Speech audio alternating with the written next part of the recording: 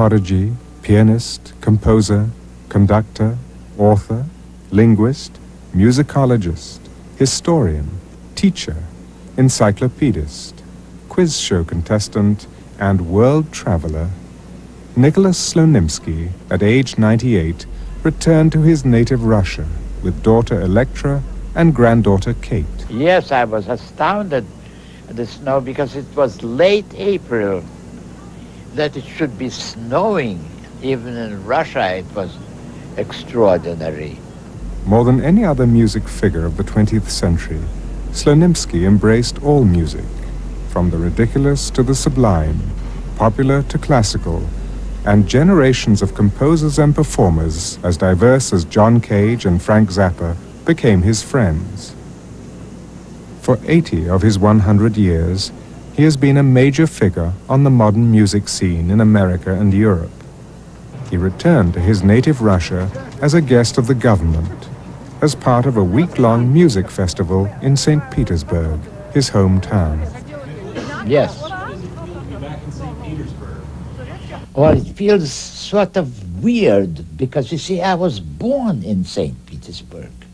I was born to be exact on uh, April 27, 1894.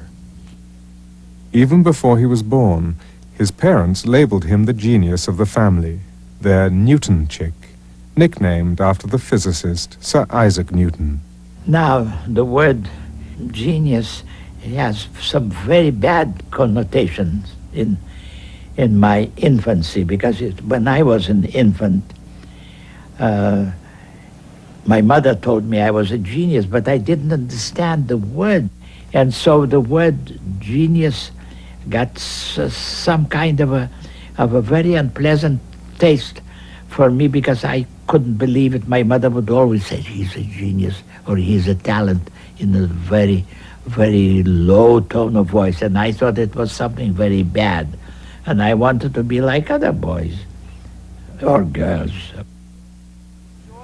Режиссер по-русски понимает, ну как я его спросил, какое, какое положение русского языка. Это неправильно, неправильно.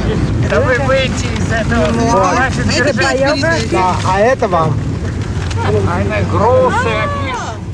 My friends, including my remarkable nephew, who is a, a wonderful composer, picked me up, and there was a reception committee and all kinds of things, and all, all of a sudden, he and others said that I was important. I denied it absolutely. I said I was not important, I was cold.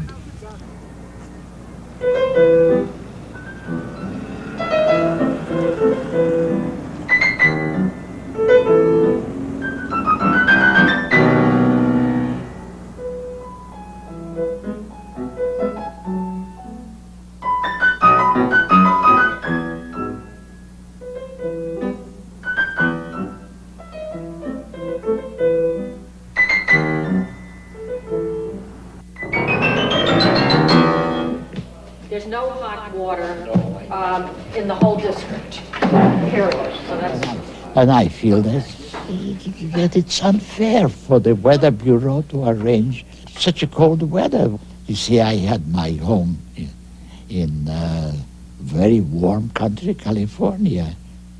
Slonimsky lives alone in sunny Los Angeles in a modest bungalow with his cat, Grody to the Max, named in Valley Girl lingo by Moon Unit Zappa, rock star Frank Zappa's daughter. Famous as a teacher, he has entertained generations of students with his wit, his wisdom, and his bag of piano tricks.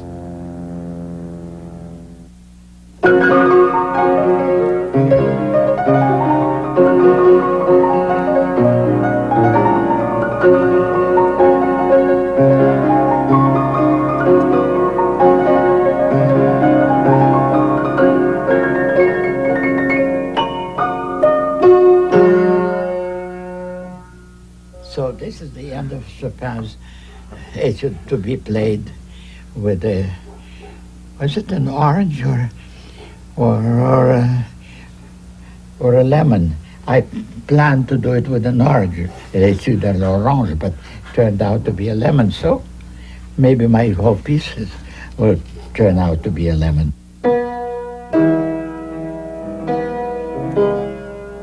Another thing I can do is to play the overture to Tannhäuser with a brush. Well, my piano studies proceeded very obviously. My aunt Isabel Vengerova was a famous piano teacher. She eventually went to America and uh, uh, she was one of the most important piano teachers at the Curtis Institute in Philadelphia. And among her pupils was uh, Lenny Bernstein, for instance, Samuel Barber. If a person would play a note on the piano, then I would know exactly what note that was, and that was called perfect pitch. And that was something that seemed that only I and my aunt had.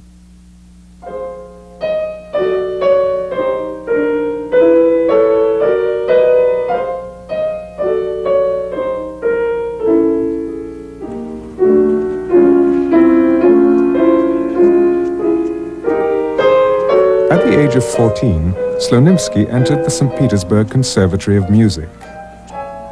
Glazunov, its director, and famed Russian romantic composer, praised his talent. But the Wunderkind had doubts about his genius conquering the world. I, I was uh, 17 years old, I believe, and that I apparently tried try to hang myself in the in the bathroom, and so uh, since uh, the Russian appointments were were not very very good, so the whole thing collapsed, and I began to cry or whatever it is, and my mother decided that I had to to be taken to a hospital or to a psychiatric establishment, and just why I did it and. Uh, it, it was just to attract attention. There is no other explanation.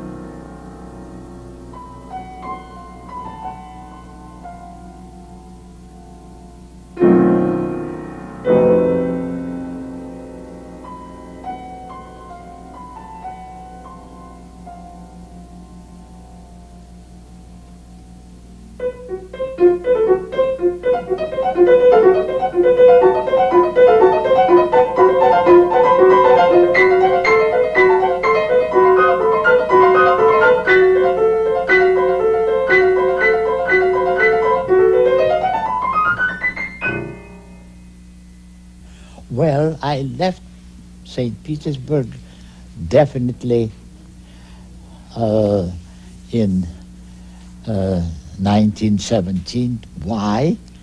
Because I was getting sick and tired of this situation when uh, we didn't know where we were going or coming or just what was going to happen during the revolution. Not that I was against the revolution, but I was against the situation where we didn't know where we where, where we were going, you know, and what the plan was. And I remember many strange songs that people of the of the town sang. Uh, they were usually songs of uh, protestation against the former government and against possibly the future government. Uh, Пейте шампанское, курочку гджуй, День твой последний приходит, буржуй. Now this is the actual song. Ta ta ta ta ta ta ta ta ta ta ta ta ta ta ta ta ta ta ta ta ta. And I repeat the words, pei champagne, drink your champagne, kurочку жуй, nibble your little chicken. День твой последний, this is the last day of yours, you bourgeois person.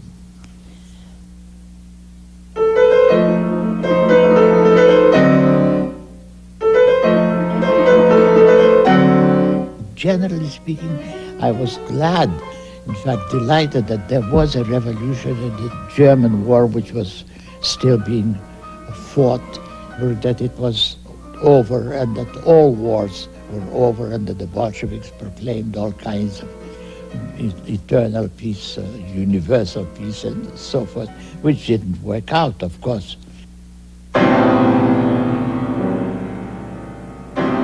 But I regret to say that uh, the situation generally was terrible. People were, were dying right and left. I remember that a friend of mine who was a music critic, uh, he sold his uh, great Bechstein piano for only uh, 12 pounds of Russian blood bread.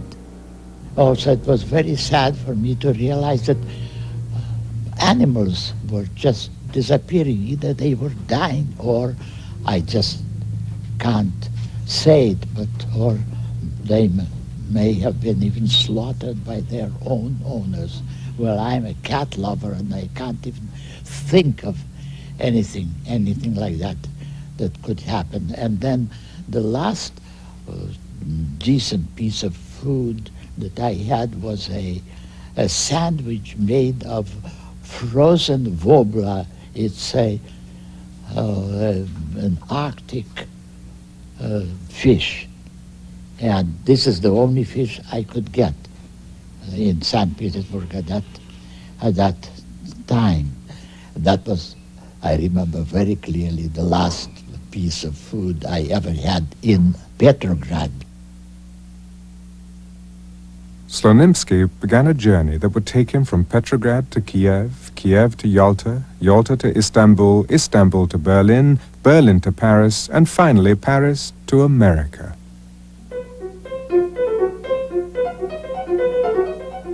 And then I could play the piano.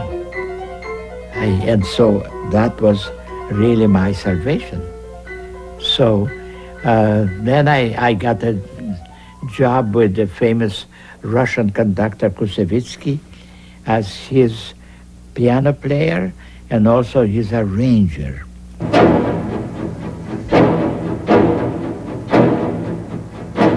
Well, this, this was a technical matter which is difficult to explain to a, to a non-specialist.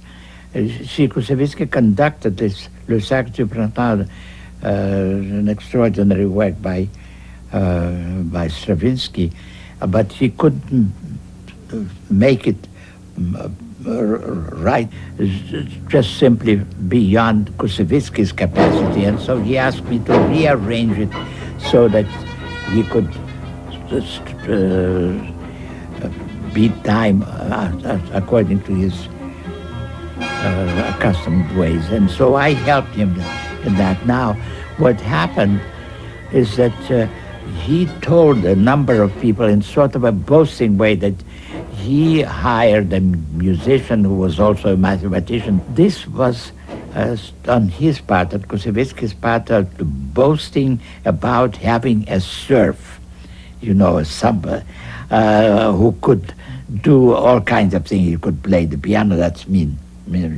He could learn languages, which of course I did, and Koussevitzky could not learn any foreign language, no matter what. And so uh, there was this uh, conflict of personalities, and finally, uh, decided that I was not a person to uh, have around and and to tolerate my being smart, smart aleck, which I undoubtedly did was. In fact, I enjoyed it very much And all of a sudden, said to myself, why don't I try to conduct, conduct new pieces that, nobody would touch? And so I uh, started a little orchestra in Boston, especially for uh, modern American music. At that time, modern American music was Charles Ives and Henry Cowell and and also Edgard Varese was a Frenchman, but they were all modern composers whom nobody would touch because they were so advanced. Now, of course, they are practically classics. So I had, had this feeling that I told you so, which incidentally was unfortunately part of my character. It so developed that I was able to conduct very difficult pieces that an ordinary conductor could not conduct, but I failed in conducting regular repertory that anybody could conduct now. For instance, in modern composers, I found that I had to conduct different uh, different uh, times with right and left hand. Nobody could, could do that. So I can show it to you how it was. If you if you follow my left hand, you'll find that there will be four beats, or rather four bars, and only against three bars in the right hand like this.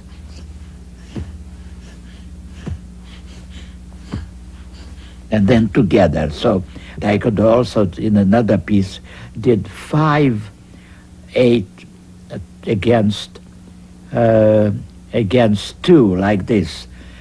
Now, one, two, three, four, five, one, two, three, four, five with my right hand, and only two with my left hand. One, two, one, two, one, two, one, two, three, four, five, one, two, three, four, five, one, two, three, four, five, one, two, three, four, five.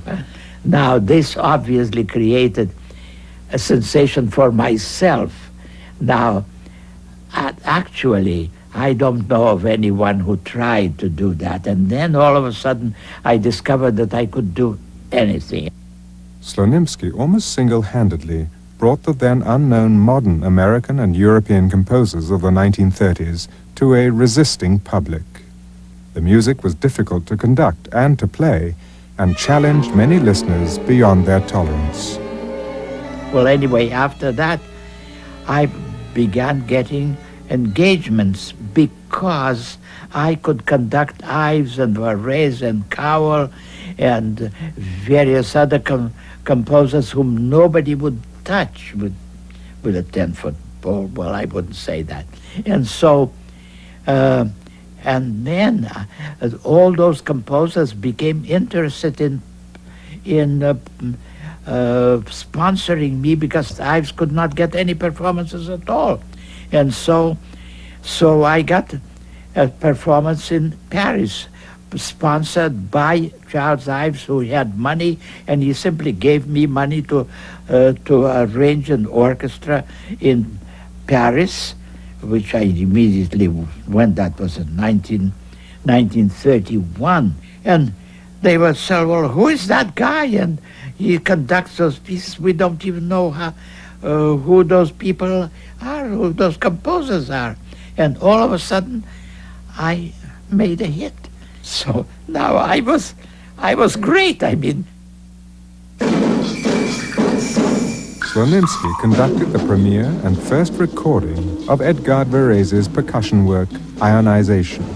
In order to perform ionization, I had to enlist people who were, were not performers on special instruments because let's not forget that ionization was written only for instruments of percussion and uh, some sirens. Varese was convinced that he was ahead of his time, and amazingly enough, he was right. You see, like everybody said, you are not ahead of your time. You just don't know how to compose. And it turned out that now those pieces are regular uh, concert pieces.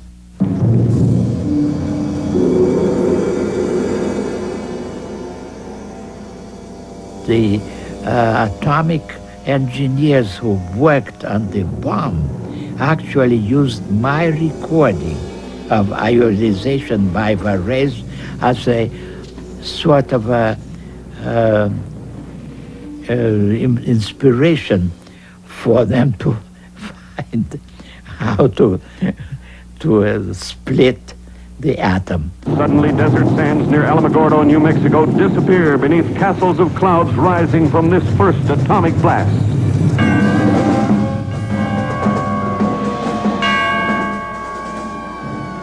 After the success of ionization in pre-war Europe, Slonimsky was invited to conduct the Hollywood Bowl Symphony. Well, now the critical reaction. And you see, the critical reaction was this. I mean, there was a, there was a group of people who thought that it was wonderful, particularly John Cage, who was a young man then, and he told me that he attended every single performance uh, that I conducted, any of the new American uh, music. Those concerts that he conducted in the uh, Hollywood Bowl were a great experience for me.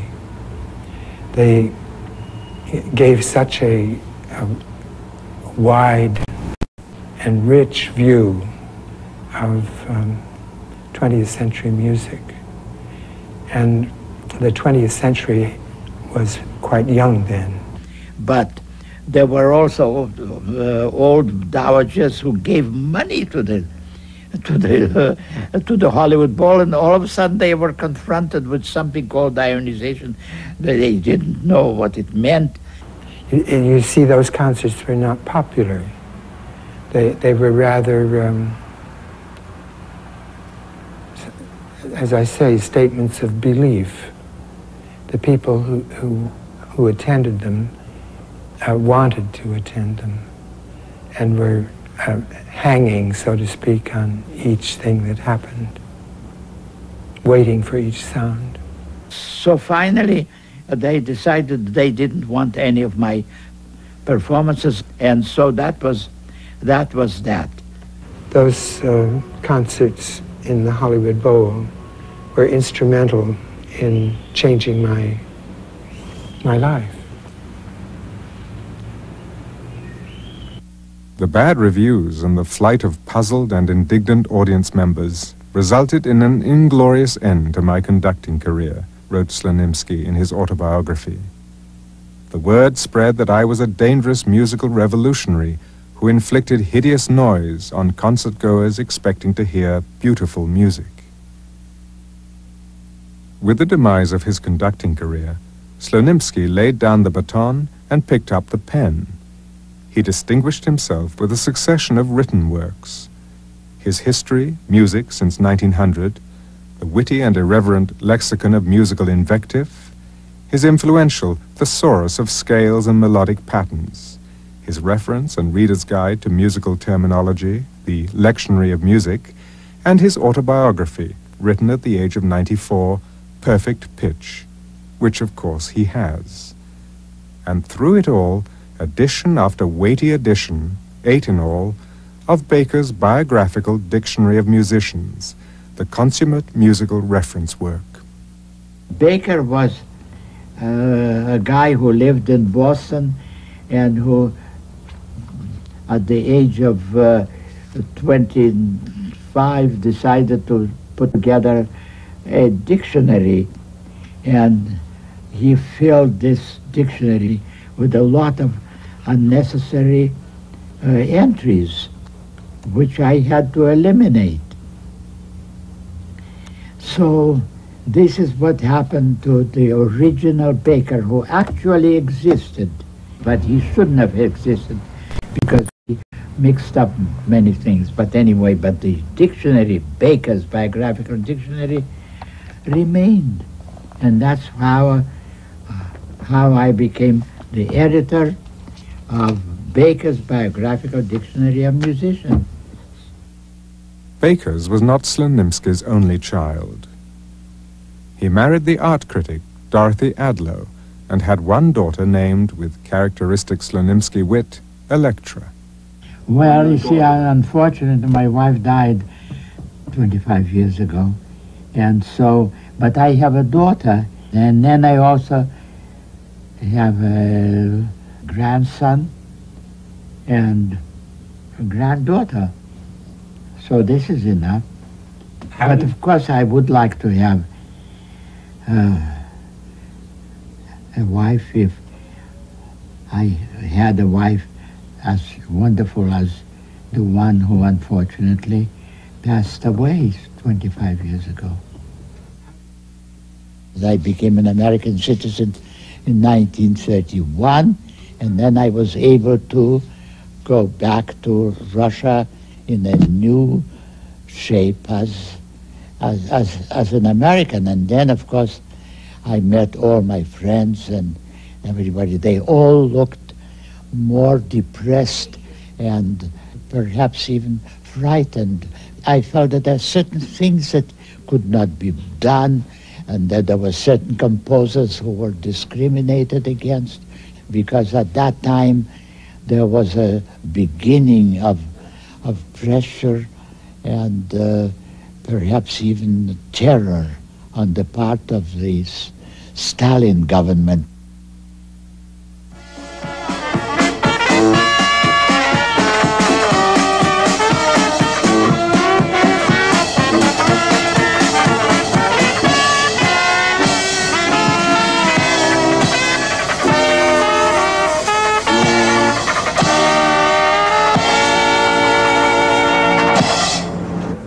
Now, for instance, you can say anything you want about St. Petersburg, about Russia in general, about Ukraine, about anything at all, and, and even uh, read foreign papers.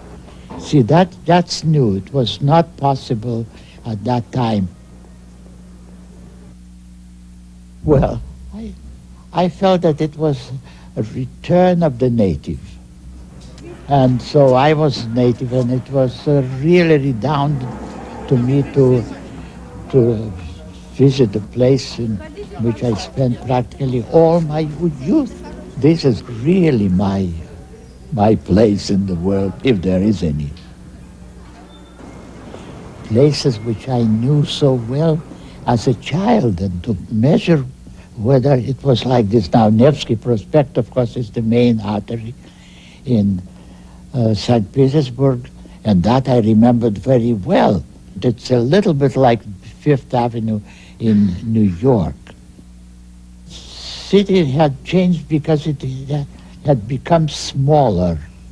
I mean, not actually. I mean, it was a, it was a wonderful uh, avenue of things and uh, that had, uh, to me, as a, as a child, a, a feeling of uh, luxury and uh, perhaps something that I could never attain in my life, so I thought.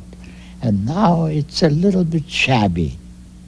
And I uh, could, could not regain that sense of, of youthful delight.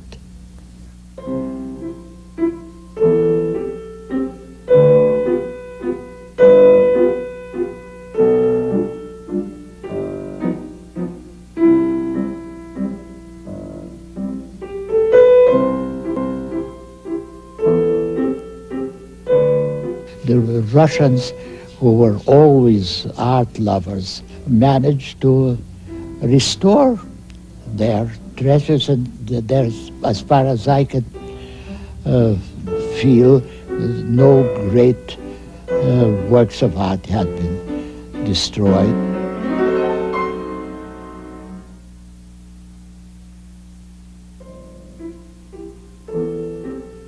Then, of course, the Russian music remained great music.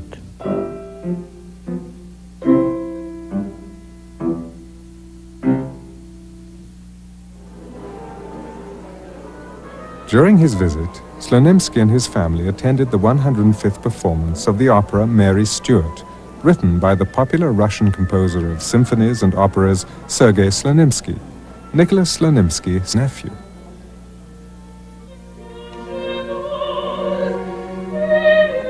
This I recognize.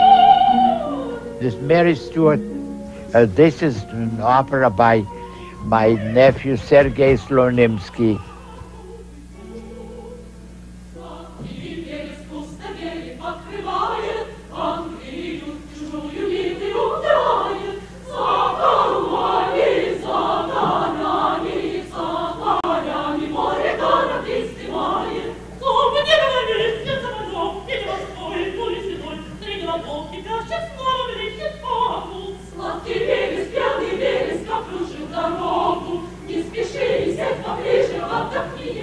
Stuart is the story of the historic confrontation between Mary, Queen of Scots, and Queen Elizabeth I for the throne of England.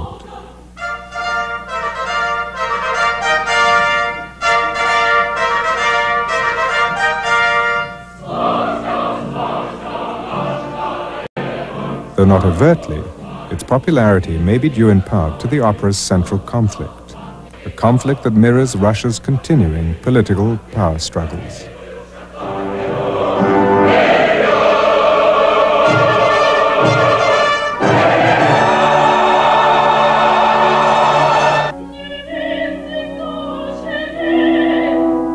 Mary's arrest, the celebration of Elizabeth's subjects, the anguish of Mary's subjects, and finally her execution are seen through distinctly Russian eyes.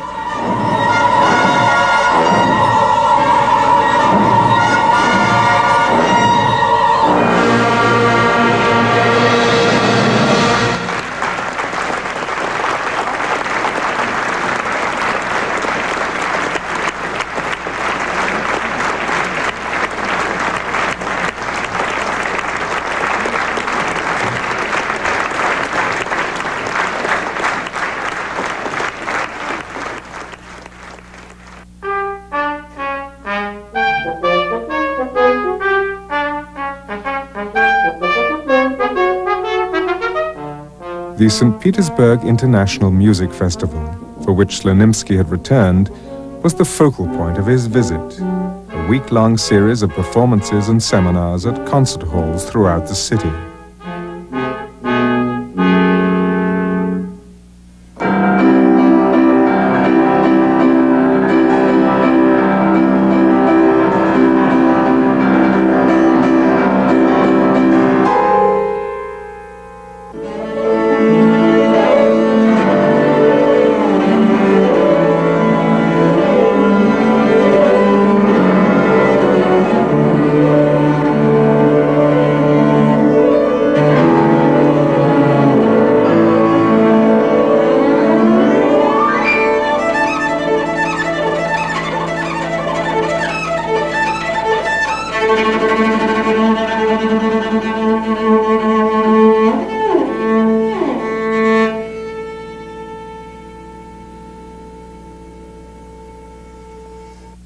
One of the many festival events was a performance of Slonimsky's piano work 51 Minitudes at the St. Petersburg Composers Union.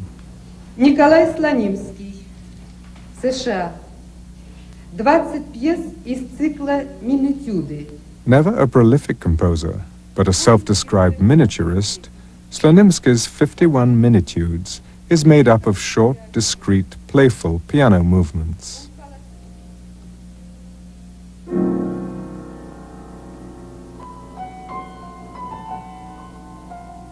Oh, this is my piece. Ta ta ta ta ta ta ta ta ta.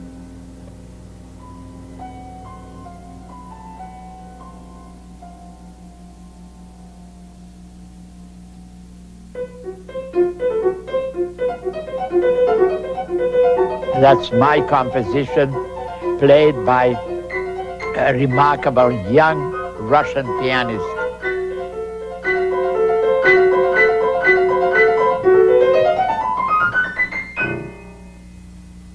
Very well played.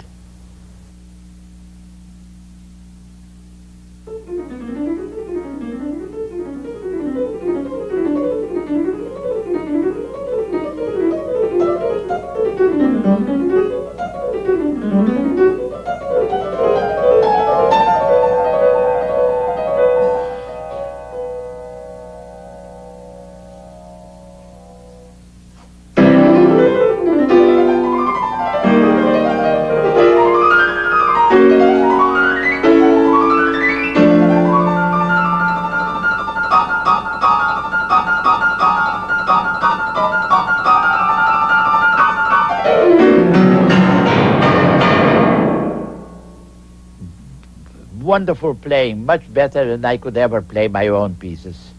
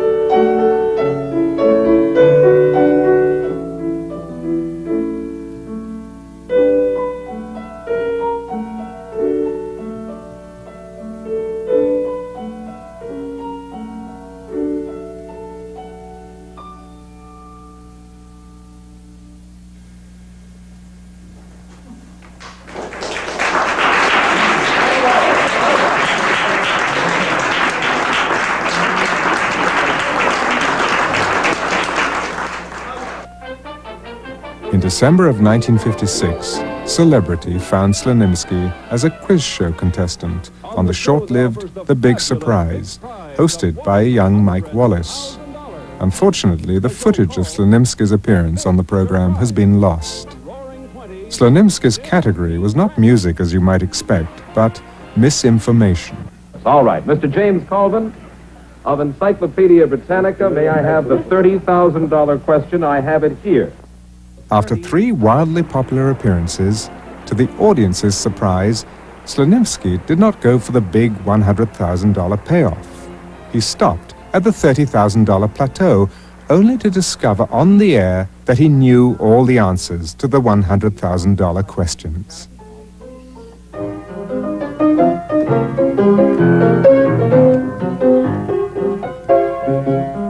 Make this a day you never will regret this. Here is your chance. Make this a day. A new type toothpaste has been created. The name of it. As irreverent as his Etude à l'Orange, Slonimsky's advertising songs are a brazen send-up of slogans and ad copy of the 1930s, taken directly from the pages of the popular magazines of the day. Never will regret it. Make this a day of Pepsodent. Make this a day of Pepsodent.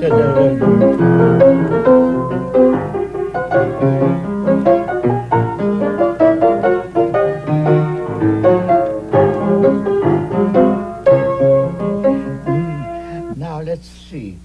I know what. Why don't I sing Children Cry for Castoria?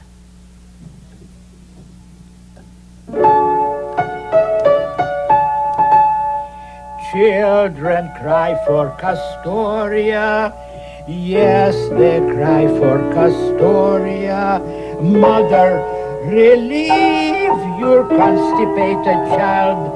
Hurry, mother, even a fretful, feverish, bilious child loves the pleasant taste of Castoria. Castoria, Castoria, oh gentle, harmless laxative, which never fails to sweeten the stomach and open the bowels. It never cramps nor relaxes, no narcotics or drugs. Ask your druggist for General Castoria. All the instructions are printed on the bottle. Children cry for Castoria. Yes, they cry for Castoria.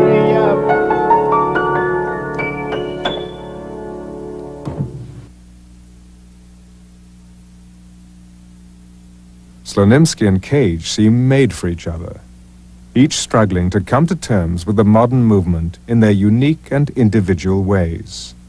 He seems to uh, make everyone around him um, happy and, and, and often laughing. And his own, his own music is, uh, can arouse laughter, particularly if he sits with his back to the piano and plays something on the, on the keyboard. But his music, besides being um, you could say, mirthful or humorous, is, is also inventive. I, I, I can't imagine that Slonimsky takes uh, seriously the idea of, of being a genius. Maybe having to be one is what has produced this marvelous, lively sense of humor that uh, he carries with him wherever he goes.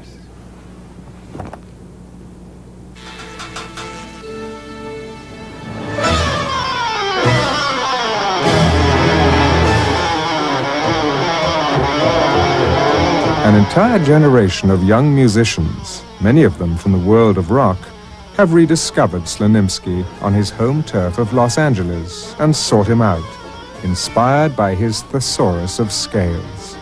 Hello, Nicolas. Good to see you. Well, it's wonderful to see you and to feel you. I mean, I'm sorry to mention uh, such matters. That's okay. you- I know where you're coming you, from. First things uh, first. because I, uh, after all, you This is the 90s. It's hair before music. Exactly. Well, anyway, let's not talk this way because I'm liable to say something that would be unprintable. That's what editing is for. Jennifer bought four copies of this book, which increases my receipts considerably. But this book is very, very amusing. It scares The most word. people. You're quite a showman, Nicolas. Well, yes. It was the music of Varese that brought rock iconoclast Frank Zappa and Nicolas Slonimsky together. Their mutual affection ran deep, as this last interview Zappa granted for this production attests. He's just a brilliant mind. And it's, a very warm-hearted spirit. These are qualities not often found linked together in human beings. And I just liked him. One of the things I really liked about him was his wardrobe. I was impressed with his wardrobe from the first day he came over because he had that look. He had the, the look of a real guy from that era. You know what I mean? Mm-hmm. The right kind of shoes, the right kind of tweed, rumpled, worn for a thousand years kind of sport coat, and pants too short. He was wonderful. He was a fully developed character.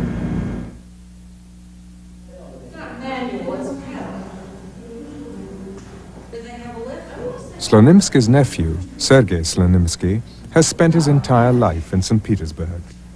A well-known composer of symphonies and operas within Russia, he is little known outside its boundaries. Sergei and his wife Raya welcomed their uncle to the apartment that has been in the Slonimsky family for more than a hundred years.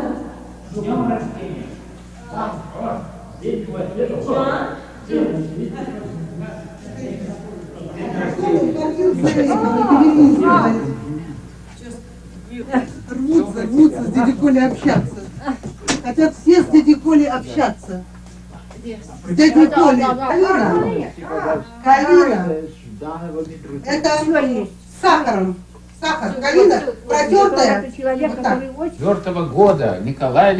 Nicolas Slonimsky came to St. Petersburg by invitation of the Composers Union with his daughter Elektra to participate in the International Music Festival. Slonimsky is one of the most famous and greatest of first wave emigres to the United States. Nicolas responds, I never forget Russia.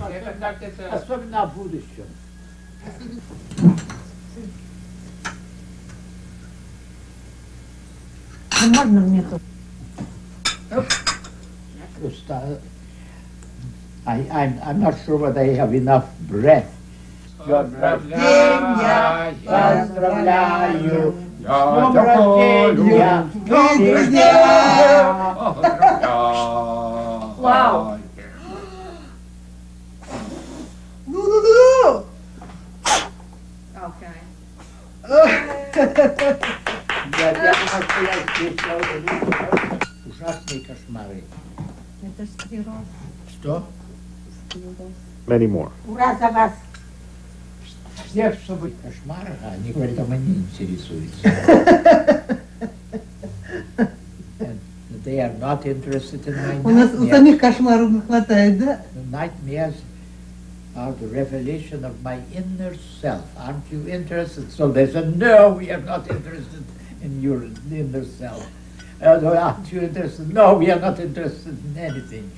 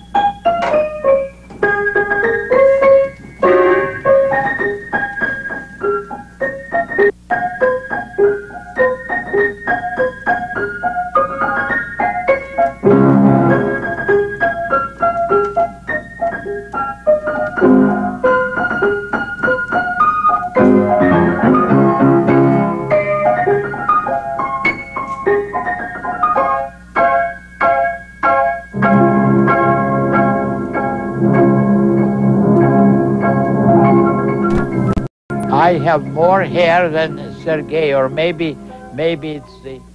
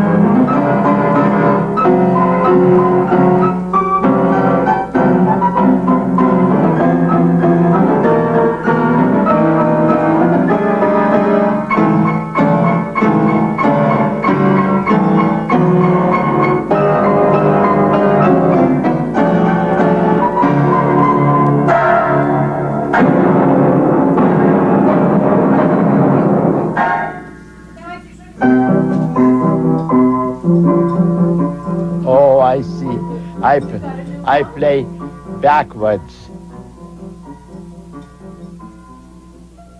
And Nikolai Leonidovich Slonimsky, a legendary Russian-American musicologist of manifold endeavors. Born um, in St. Petersburg on April 27, 1894, a self-described failed wunderkind. Everybody told me that I was a wunderkind, that is child prodigy.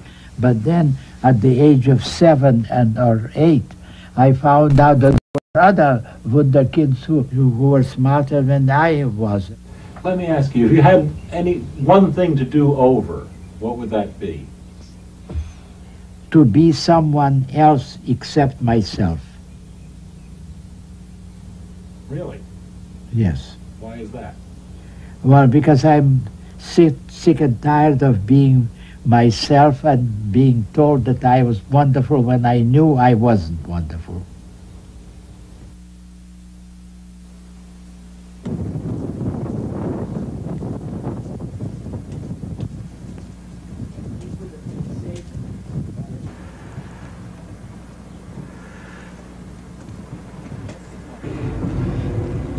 On his last day in St. Petersburg, Nicolas Slonimsky searched for his childhood home. Help me, I think that I, I have a pretty complete memory of you. The city was greatly changed. Memory proved fickle, but finally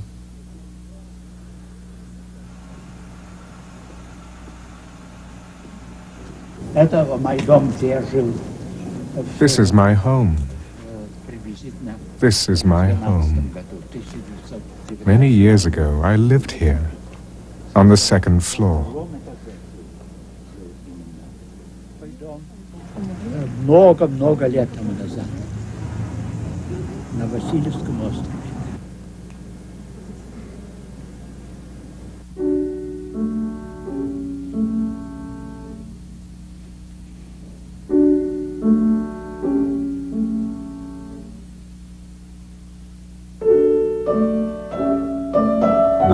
Reached the age of absurdity, wrote Slonimsky in his autobiography. To exorcise the ghostly digits of my age, I have now adopted a personal countdown, modulo 100. It works like this. In 1990 he was four, in 1991 he was three. In 1994, he wrote, I will be zero. On this hopeful note, I conclude.